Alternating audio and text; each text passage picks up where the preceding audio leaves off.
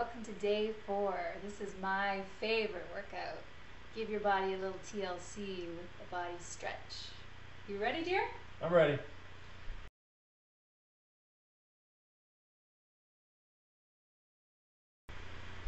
Okay. You've worked hard for the last three days. Now, day four, as Tanya said, give yourself a little TLC. And this helps when you recuperate your muscles, you actually look better. All right, here we go. Heel toe rock, back and forth. All you have to do is roll to your toes, roll to your heels, keep your legs straight, chest up, shoulders back. Good. Inhale the good. Exhale the bad. There you go. Four, three, two, one. Good. Okay, Tanya, turn to the side here. What we're going to do a great stretch for the lower back and the knees. So Tanya, slide your hands down your legs. Grab the ankles. Good. Keep a hold of your ankles at home, and you're going to squat and then straighten your legs. Squat and straighten your legs. Good. So you want to keep a hold of those ankles. Good. And what you're doing here is making the knees happy, stretching out the hamstrings, making the lower back happy, kind of getting some rid of those aches and pains you might have for those first three days of working out. Four more, Tanya. One, two, three. Let's get your butt a little lower. Good. And walk your hands up your legs, kind of like cat paws, all the way up. Reach for the ceiling. Good and nice. Okay, what we're going to do now is a backstroke. Okay, it's not an Olympic race. We don't have to go fast. It's more you're doing a nice relaxing backstroke, looking up at the clouds. Good. Why are we doing this one? Well, we have a lot of this FHP, forward head posture, working on computers, driving, uh, phones, okay? So this happens to your body. A lot of tension in your shoulders and your neck. The backstroke unwinds those tight spots so it helps you stand up naturally. Good? Great exercise for making you feel better, especially getting rid of some of the neck pain. Four more. One, two, three, four. Good. Okay, Tanya, just stand back here a little bit. Right here. Good, good, good, good, good. All right, good. All right, now what you're going to do is slide your hands down to your ankles. Good. Put your hands on the floor and then walk your hands out like cat paws into a push-up position. Good. You're going to hold that. All right, now Tanya, let's show us your best downward dog. So you're going to lift the hips up to the ceiling. Good, and we want to get your heels down to the floor. Good. That's the goal.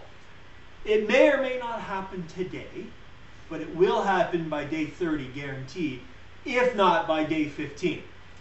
Okay? And even today, sometimes you just have to kind of breathe it out and release the tension in your calves and those heels will go down. Good, so you're to lower your butt again, Tanya. So same thing at home. Just get down into a push-up position. Good. And lift your hips up nice and high, back into that downward dog. Good, there you go. Nice. Heels are even down a little bit further. So you just have to take time. It's like a knot in a shoelace. You have to unwind it. Good. Butt to the ceiling, back flat. Good. What's great here is you're stretching, but you're also strengthening your upper body muscles. Okay, Tanya, hips down. Walk your hands out a touch. Good. Now I want you to inhale, exhale. Get back into that downward dog. So hips up high. Good. Heels are getting better. That's it. How's that feeling, Tanya? Awesome. Good. Now notice long arms, long back, straight legs, knees are locked, heels are getting down. Are your heels getting closer? Almost there. All right, good. Almost there.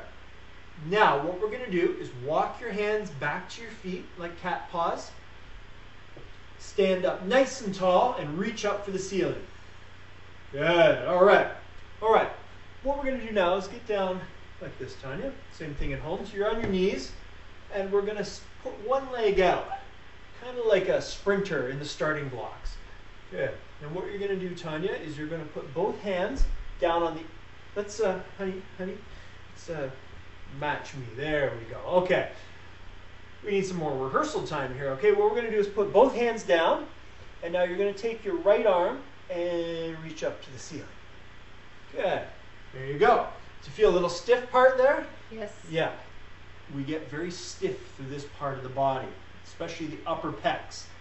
So Tanya felt a little stiff and then she relaxed and got rid of the tension and was able to stretch it out. So what's good here is this is called the can opener stretch. It's opening up all the tight spots. So opening up the hips, opening up the pecs and shoulders. You got that can opener and getting rid of all the tension, opening up those areas. Good. Now slowly bring this hand down. Stay in this lunge. Now you're going to bring up the opposite arm. You're going to reach up. Good. You're going to feel a whole brand new area of tight spots here. But we got the can opener and we take get rid of that tension. Open up the shoulders, open up the hips, open up even underneath the legs here. Make sure you breathe. Feel that, Tanya? I feel it. Good. Does it feel good? Feels great. That's right. And you can become more flexible. I hear so many people saying, "Oh, I'm, I can't. I'm too tight, or I, I'm not flexible." Well, you got to make yourself flexible. Okay, you got to do the movements, and you will become flexible. Everyone is flexible. You just got to get there. All right, let's bring this hand down, and you're going to sit back onto your heels. So bring both legs back, sit back onto your heels. And this is something a lot of people can't do. They feel a little uncomfortable because they have tight uh, shins or ankles. I used to be one of those, but you just got to do it and it'll get rid of it. Okay? If it's too much, put your hands here. Otherwise, you can even put your hands back here. All right, switch your legs, Tanya. Put the other leg forward. Good. Put both hands on the floor. Now your outside arm is going to reach up to the ceiling. Stretch. Good. And Tanya, just for the camera here, I'm going to get you to move over there more. Good. And so I'm going to, some adjustments I'm going to make with Tanya is open up your lunge more. So even during this stretch more, her foot can come forward more and her leg can come back. Same thing at home. Okay, try to get that lunge a little bit more stretched. You can see that. Good. Stretch. Five, four, three, two, one. Come on down. Switch the arms. Good. You'll feel that maybe one side is tighter than the other one. Don't worry, you're not weird. That's a normal thing. Most people do have one tighter side. But the goal here is in 30 days, both sides are flexible. Okay, there is no tight side. And it can happen. You just got to work on it. Breathe, breathe, breathe. Oh, the stretching feels so good, doesn't it? It feels great. Good. Okay, bring it down. Sit back onto your heels. Good. Okay, next one. What we're going to do is we're going to have a seat. So trying to get right in the center here. Get your legs open into the letter V, as wide as you can. Take both hands, and you're going to reach over for this left toe and grab. Good. Hold. Very nice. And what you can do is let the head relax. Good. We don't want to hold tension in the neck. Same thing at home. You can look up at the screen just to kind of check out Tanya's form, but otherwise get your forehead down to your knee. Good. And if you can't grab the toe, Tanya, just come on up here for a second. Grab at least the shin and try to get your head down. Okay, what we don't want is your hands just, come on up, Tanya. We don't want your hands just floating here and you struggling and having tension. Touch something, get your knee down, your head down. Good. And then otherwise grab the toe. Good. 10 more seconds. One, two, three, four, five, six, seven, eight, nine, ten. Come on up. Sit up nice and tall. And now because you're stretched out, you can put the legs a little wider. Good. Both hands reach over to that toe. Good. Hold it. Nice. Same thing at home. What are we doing here?